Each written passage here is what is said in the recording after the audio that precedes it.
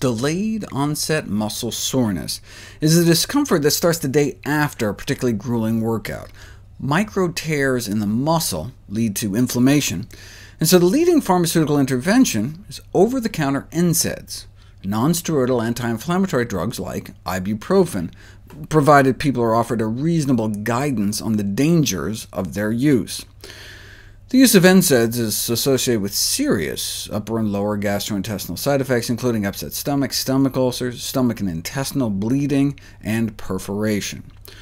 Of all the NSAIDs, ibuprofen is probably safest, uh, significantly safer than naproxen, Still, there may be about a 1 in 100 chance we'll end up at our doctor's with some problem, and up to about 1 in 500 chance we could end up in the hospital because of taking simple over-the-counter ibuprofen. And that's mostly for the stomach. NSAID drugs also can damage the small intestine. Within hours of taking ibuprofen, it can make our, make our gut leaky, and within days inflame our bowels.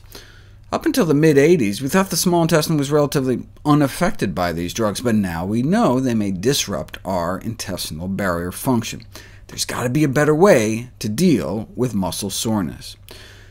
Previously, I reviewed the role cherries may play in reducing muscle soreness, uh, thought to be because of anti-inflammatory flavonoid nutrients. Interestingly, while the absorption of these phytonutrients can help with exercise, exercise may help with the absorption of these phytonutrients. Here's the absorption of fruit phytonutrients in sedentary volunteers. Compare that to how much triathletes get from the same amount of fruit. If you look at each of the individual phytonutrients they looked at, they were all significantly better absorbed by the athletes.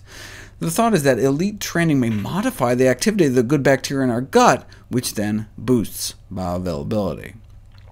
But back to muscle soreness. Any other fruit that may help? Watermelon.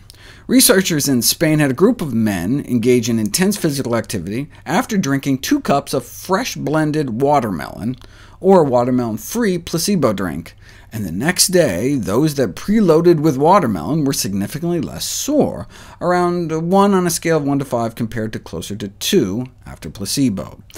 They conclude that functional compounds in fruits and vegetables can play a key role in the design of new natural products by the food industry, instead of synthetic compounds from the pharmaceutical industry.